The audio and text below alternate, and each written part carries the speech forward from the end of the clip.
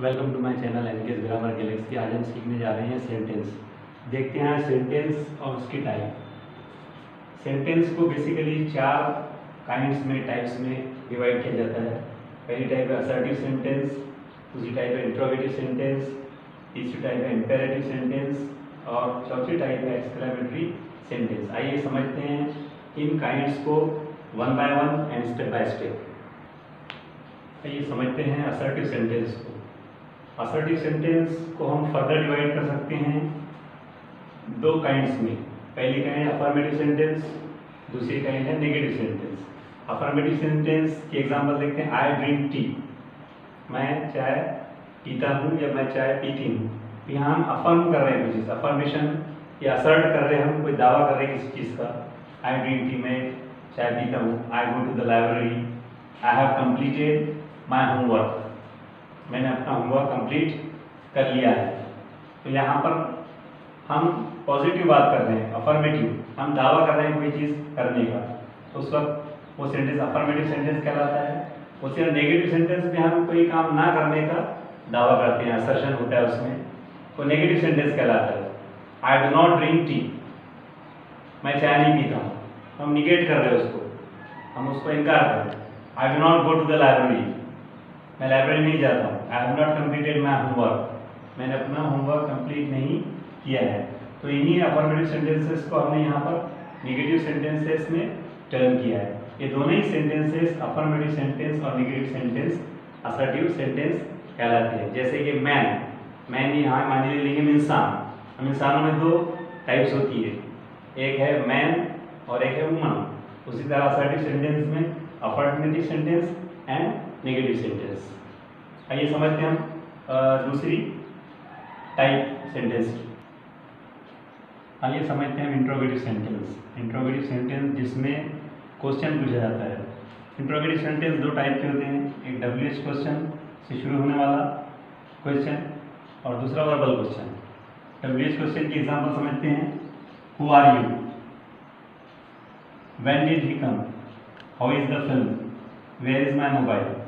ये सारे questions W H word से शुरू हो रहे हैं। इसके डब्ल्यू एच वर्ड क्वेश्चन कहलाते हैं। दूसरी तरफ़ वर्बल क्वेश्चन है। वर्बल क्वेश्चन वो क्वेश्चन जो किसी हेल्पिंग वर्ड से शुरू होते हैं। जैसे हम यहाँ देख रहे हैं do you have a red pen तो यहाँ डू हेल्पिंग वर्ब से इस क्वेश्चन की शुरुआत हुई है। Next is it your bag is ये हेल्पिंग वर्ब है। Did he not come today did helping verb है। Will you come to school will यहाँ पर हेल्पिंग वर्ब है।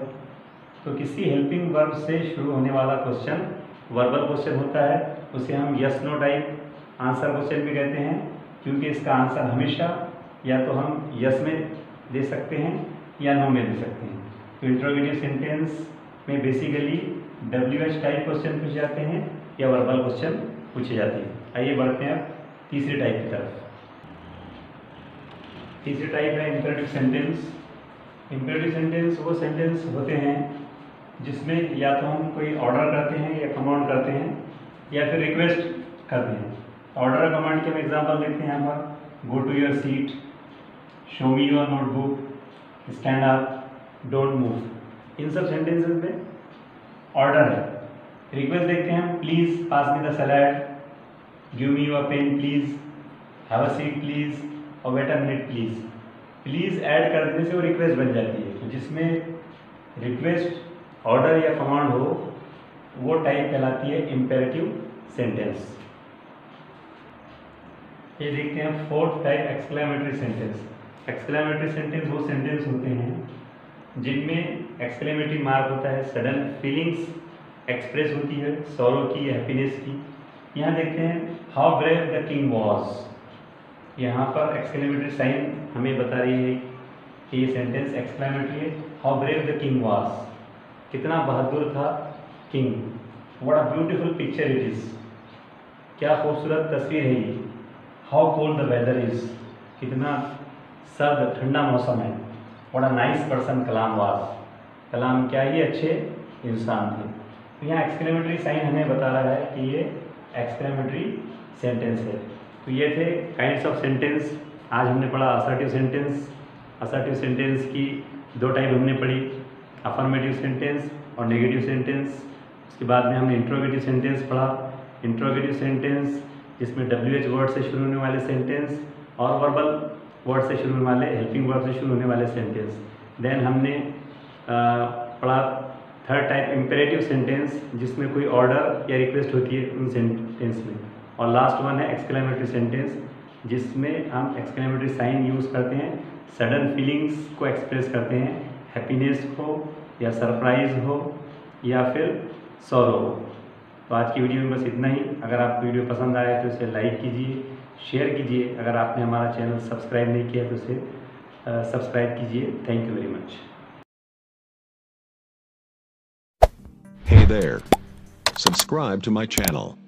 And also press this bell icon.